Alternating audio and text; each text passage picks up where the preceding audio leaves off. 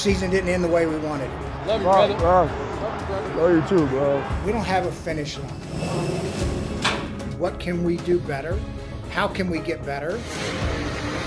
We got to continue to improve. We got to improve the roster. The challenges we're about to have, um, I think we all know. We adjusted with the draft. We adjusted with off-season work. We adjusted with the season.